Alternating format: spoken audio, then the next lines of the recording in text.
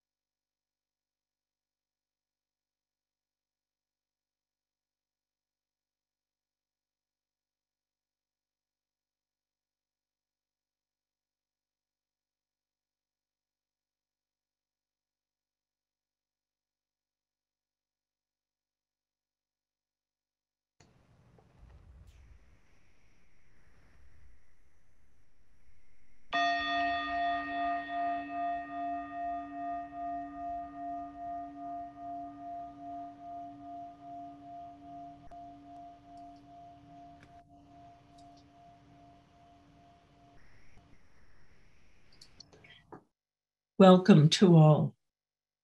I'm Nina Duncan, President of the Women's Alliance of First Parish, and it is my pleasure to welcome you today.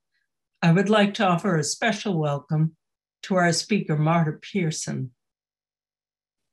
The Women's Alliance of First Parish is the women's organization in our church with a mission to support the women in our congregation and through that support to advance the interests and efforts of our entire church. It is a fellowship and service organization, and we offer programs and sponsor the annual Alliance Sunday worship service. Through our member curated giving plan, we provide financial support to First Parish and nonprofits that provide services to women and families through difficult transitions. These gifts are possible because the Alliance has its own trust fund from gifts given by women of First Parish since the 1800s. Formal membership in the Alliance is open only to women, but Alliance activities are open to all, regardless of gender and age. We, were, we encourage all women in our First Parish to join us Information for membership is on our web pages on the First Parish website, and the link is here in the chat. Let me say a word about the Clara Barton Sisterhood and why these women are being honored. Universalist Clara Barton, one of our most famous foremothers, was a distinguished leader of her day, noted for organizing nursing services and supplies for soldiers during the Civil War. She was also a founder of the American Red Cross, and was actively involved in that organization until she was well into her 80s. To both honor her example and celebrate today's women, the UU Women's Federation created and maintains the Clara Barton Sisterhood to honor a UU woman for long term service, having attained her 80th birthday. The Women's Alliance of First Parish is honored to present the award to honorees Debbie Lewis, postponed from 2020 in the days when I thought maybe we'd be together in the sanctuary celebrating. And Natalie Tyler and Gwen Hooper. Please note, we will have, because we're online, we'll have a moment for congratulations for all three honorees at the end. Deborah Noyes Lewis. Born on May 11th, 1939, Debbie Noyes Lewis has been a member of the community of Arlington for many years and raised her family here with her husband and poet Philip Lewis. Debbie has contributed to Arlington community in many meaningful ways. She was an advocate for affordable housing as a member of the Housing Corporation of Arlington for 11 years, serving as its president for three. For several years, she has participated in demonstrations for mothers and grandmothers out front.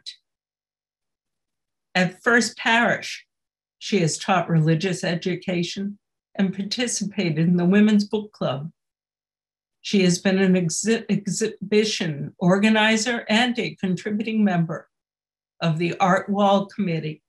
And at the Arlington Center for the Arts, she has created impressive works in different media. Currently, she enjoys a life with her family filled with creativity, traveling, skiing, and activities at their vacation home in Maine. Thank you, Debbie. Natalie Tyler.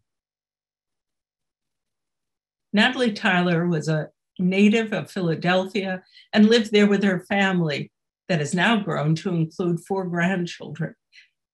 She majored in science in college and worked in teaching, social work, and nursing toward her nursing degree. For many years, she pursued her career as an inpatient mental health nurse. In the years since Natalie moved to Arlington and joined our church, she has used her many talents to the advantage of many. She has served as a lay minister, managed the summer maintenance of our gardens, provided hospitality at our alliance gatherings, served as an usher during services, and participated in blood drives and as a volunteer of the UU Urban Ministry. Recently, she's been participating in the singing and yoga groups through Zoom at the Arlington Senior Center. Thank you, Natalie. Gwyneth Hooper. Gwyneth has been active in the town of Arlington and our First Parish Church for decades and is one of the best known and most loved people in our community. An article about her contributions was published online in yourarlington.com in 2014. Since she first made her entrance into the world, famously born in the elevator of a hospital in Philadelphia, she has made her own way independently. In 1970, she first approached the town selectmen about opening a daycare center for the children of working parents. She encountered much resistance and disapproval toward working women Undeterred, she persisted for several months, and the idea was finally approved. She opened her daycare center soon after. When she retired in 2004, to, uh, 2004. The Arlington Children's Center served 163 toddlers. The preschool had a fully accredited kindergarten program and an after school program for 55 students in grades one through five. It still flourishes today. She also contributed to the community again in 1980 when her own family, when her husband came out as gay, followed not long after by her son. And with two gay family members, Gwen bonded with others in Arlington with gay loved ones and supported them, leading the way for the organization PFLAG, Parents, Family, and Friends of Lesbians and Gays.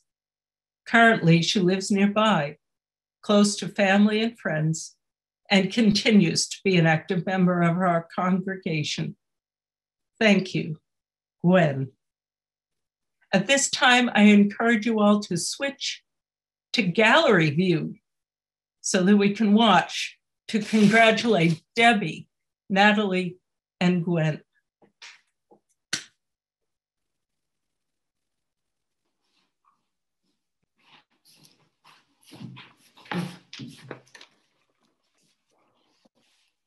Good morning.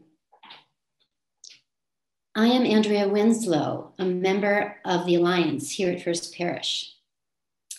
Last year, Wendy Page from our congregation attended General Assembly and came back describing an award winning sermon that she had heard given by someone named Marta Pearson. Wendy asked, Could we have her come to First Parish? Maybe the Alliance would be interested in inviting her. As one of the Alliance program chairs, I grabbed my laptop and I took out Google and said, Who is Marta Pearson? I found out that she has over 40 years of work experience wearing a few different hats. She has worked as a trauma recovery therapist and teacher. She spent over 20 years as a life coach. And Marta continues to give powerful interactive workshops focusing on personal and communal empowerment. As a Unitarian Universalist, she also wears the hat of a designated UU speaker. After contacting Marta, I was impressed with how she wanted to experience our congregation. She asked for the link to our recorded worship gatherings. Two weeks ago, she attended our Sunday service to get a personal feel for us, the congregation she was going to be preaching to. And she wanted an opportunity to meet us. She was curious about what our response to her sermon might be. Consequently, after the service today, we will have a 10 minute social time followed by a 20 minute reverberation session with Marta. We hope that many of you can join us. First Parish Arlington is so pleased that you could be with us. Welcome, Marta.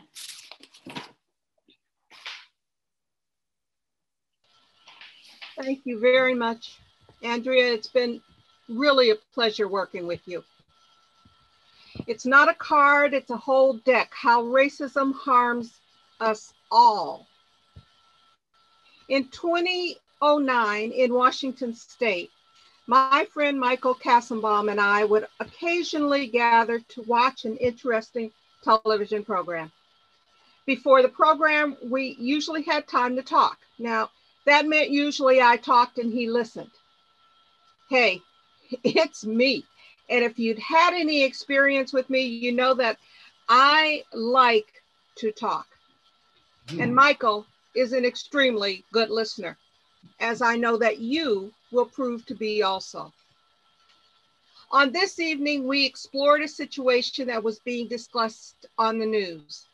I'm not sure about the details any longer. It may have been that a Black youth had been shot. Now, this was long before Trayvon Martin, Or it may have been something less violent, but no less volatile.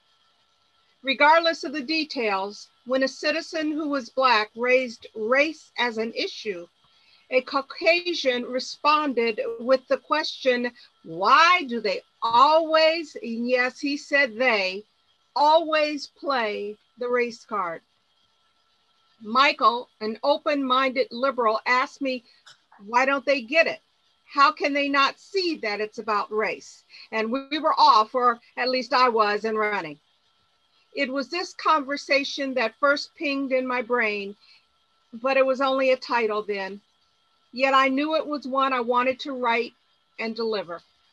However, I put it off for a long time because I wasn't sure that I could come up with 52 cards.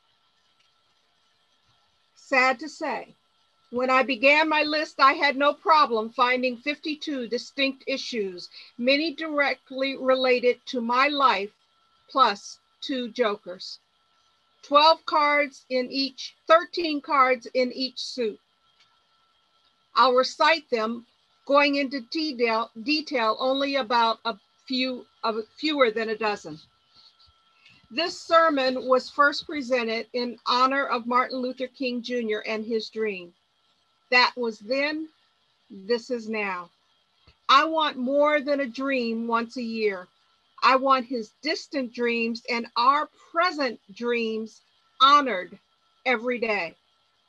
I want a reality check on the disasters that are now unfolding on a regular basis that are destroying dreams and lives. Clubs, history to present, hurt and harm. Number one, slavery. Number two, whips. Number three, Jim Crow. Now, I went into a flea market one day, secondhand store, and I saw this statuette, the Jim Crow, on a shelf. I can't begin to tell you how visceral that reaction was when I looked at it all I could think was all, of all of the no, no colors allowed signs or whites only signs. I wanted to take it, buy it, and smash it, but I couldn't bring myself to do anything more than to take a picture of it to use in an appropriate manner.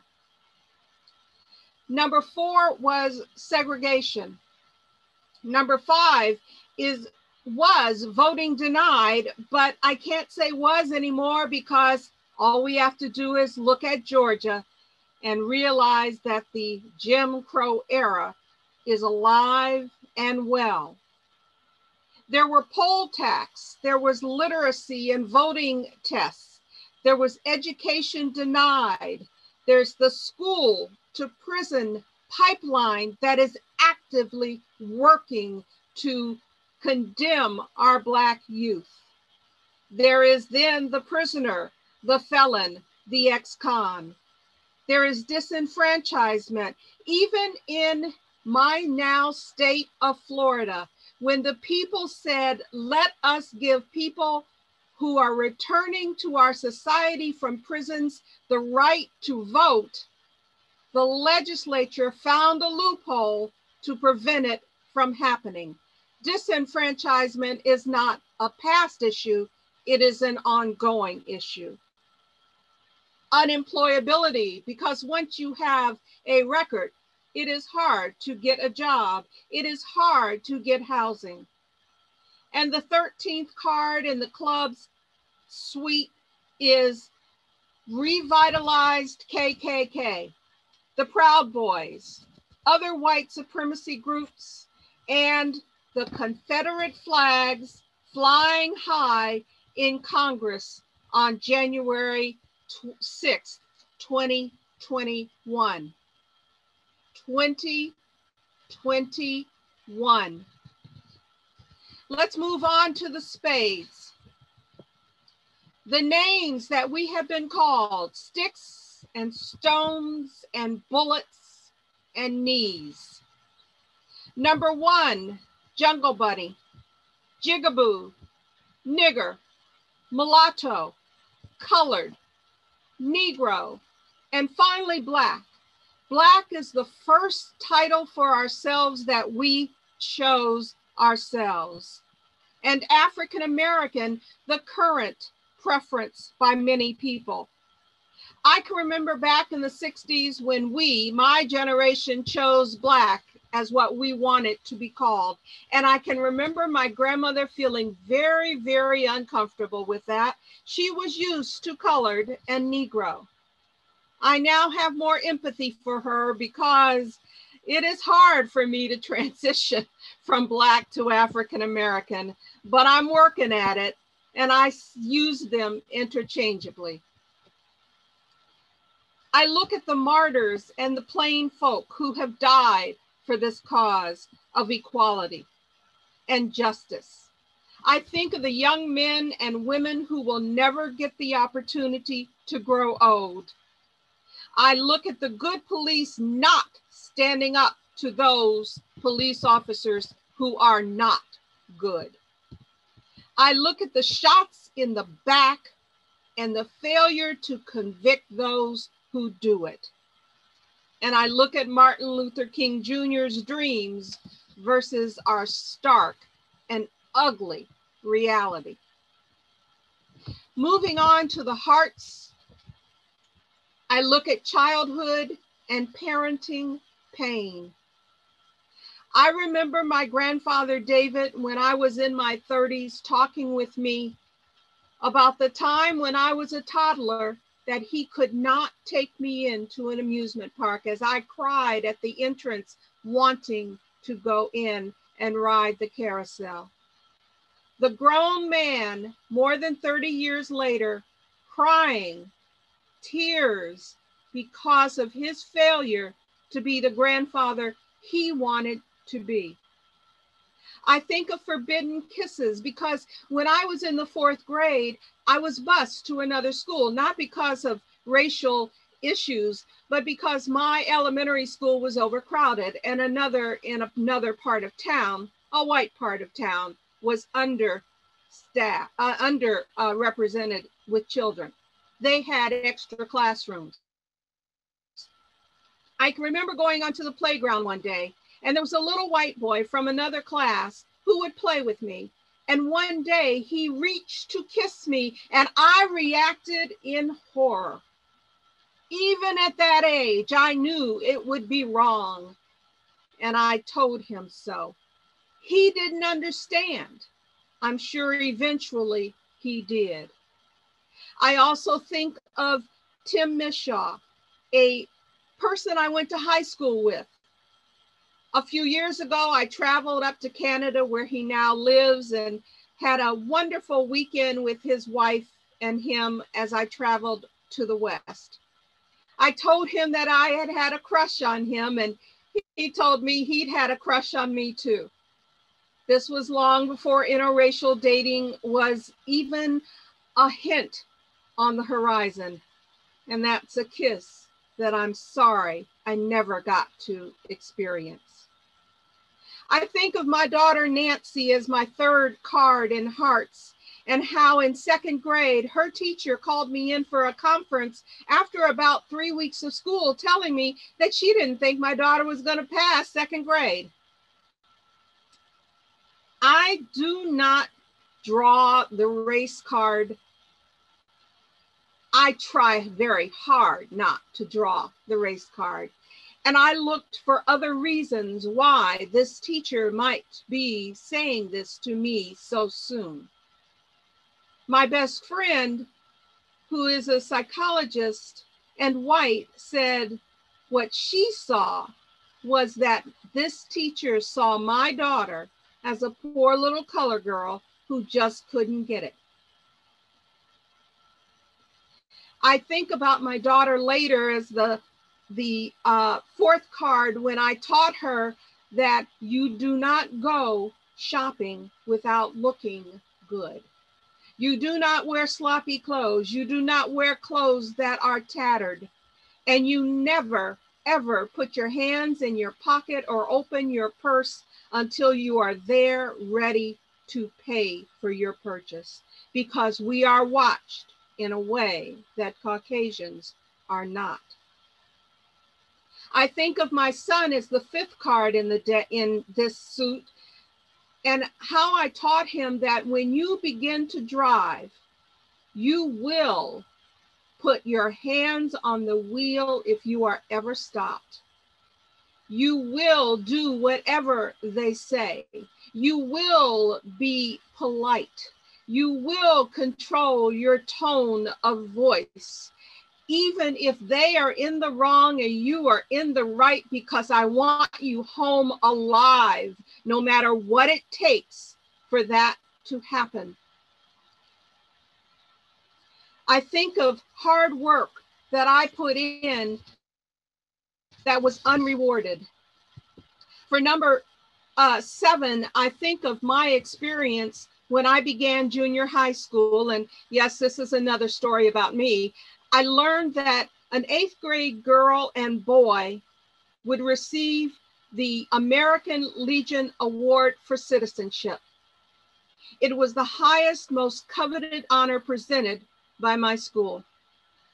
The two winners would be selected by the teachers based on their two years of scholastic record and civic participation. I wanted that award and I was determined to get it.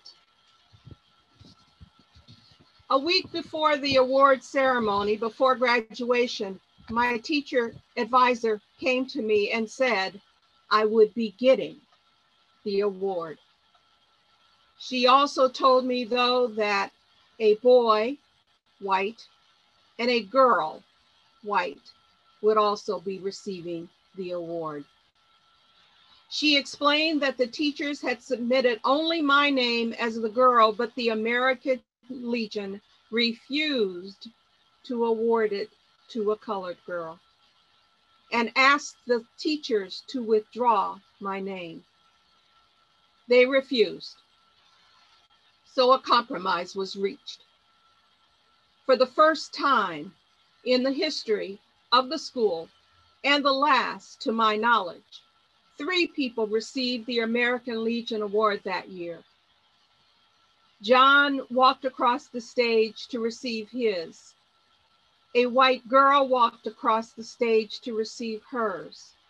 And I walked across the stage to receive mine. This was 58 years ago. And as I talk about it, the pain is just as real and just as strong in my heart today as it was that night. Back to the other hearts, I think of the jobs that I was denied and the promotions that I did not get. I think of the higher insurance I paid because I lived in a red lined area. Do you know where red lining came from? It happened around World War II when all of the veterans were coming back and money was being pumped into the system for new housing outside of the city areas. And the realtors and the government officials would use a red marker to draw lines that indicate where colored people could not live or get mortgages. I think about the loans that I was denied when I attempted to get my first house. I think about my daughter's adoption that was delayed because the white social worker just didn't feel that I qualified, even though I was a master's degree, I was a professional woman, and had been a foster parent for the system for eight years. I think of the fact that there is no blending. When I have heard people say, well, the Irish did it and the Germans did it and everyone else has done it, why don't you? Well, we have kinky hair, we have dark skin, we have flat noses. There is no way to blend in. let me go where there's some shiny things, diamonds, sometimes in the rough and sometimes shiny. I think number one, first of all, the card is my 10 black grandchildren. The second one is my one biracial black white grandchild. The third is my one black Native American Russian heritage grandchild. Now that's a combination. I think of my three white grandchildren that's a total of 15 grandchildren. Now, I can't really take credit for it because I didn't give birth to them, but I claim them and love them all. I look at my six great grandchildren one black, one white, and three biracial. I think of my wonderful white daughter in law, who I love sincerely, who has made my son extremely happy. I think of my fantastic white son in law, who is one of the most wonderful men I know, taking care of his sons and my daughter and serving in the Navy of our country. I think of my Italian American best friend forever, Pam. I think of my accepting church. And I think of all of the inventions by Blacks, too numerous to list, including the development of blood transfers by Dr. Jar Charles Drew during World War II. And the irony is, Blacks were not allowed to donate blood, even though a Black created the process. My final three diamonds, my current rays of hope two black women, and a white male. Stacey Abrams, Kamala Harris, and Joseph Biden. In 2015, I sat in the teacher's lounge at the school where I was substitute teaching. At a nearby table, people talked about the burning and riots that had occurred the previous night in Ferguson, Missouri. A white male in his late 40s told of his experience in high school when students wanted a clothing change. They petitioned the principal, who said no. They went to the superintendent, who said no. Then to the school board, which also said no. The entire student body, Caucasian, sat in the front of the school refusing to return to class they ultimately got their change. I sat and tried to convince myself that it would be useless to say anything. Those who know me know that it is seldom, if ever, that I don't speak up. And this was no exception. I decided it was my responsibility to provide a teaching moment. I asked what they would have done if they hadn't been granted the change they sought. That time after time they had been turned down and ultimately did not win. I could tell by the look on his face that he had trouble imagining that ever happening. It just couldn't occur to him. I asked them to consider that Blacks have asked and asked and asked to no avail. And the frustration it leads to causes some to riot and burn. Not right, but understandable. I told them about my American Legion experience as I told you earlier, and I think some at that table got it. I urge each of you to find and use teachable moments. It's not about whether they all agree or get it. It's about taking the opportunity to do. If we are successful one out of five times or one out of 10, it's better than zero out of zero because we didn't even do that one thing. How does racism harm us all?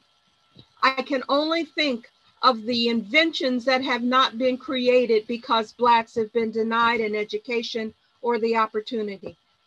I can only think of the medicines that haven't been created or the treatments that haven't been, been thought of because of the lack of opportunity. I think of all of the things we may be missing because that one Black child was denied the opportunity to advance. Where would we be if we had all had the opportunities to contribute to our society? Well, we can't leave out the jokers. The first joker is a failure to educate. And I have to admit that I am sometimes have been in the past guilty of this. I have not always shared my stories with my children, maybe because I didn't want to look flawed in their eyes, or I didn't want to see the pity or the sadness that my stories might create in them. I'm correcting that. I am talking more to my children about my history, about my family's history, about their younger lives, and how we need to go forward and share that information with others. If you have not shared the information you hear from your Black friends start doing that. It's the only way I believe that thing change will actually happen. And I wanted to provide you with information, data, points that you can use to point out to people when you are confronted by racism. Do not be silent because silence makes you appear to consent and agree one of the teaching techniques I use communication wise is to say less rather than more. When you hear something that disturbs you, ask them, why do you say that? And when they say, well, you know, you simply respond with, no, I don't. Tell me. Put the pressure on them to respond instead of you responding first. The last joker is voter apathy. We're working on that one. We've done really well this past year. We elected Joe Biden. We elected two Black senators from Georgia. And just think of how disturbing that was to the whites in, in their House of Representatives and their Senate.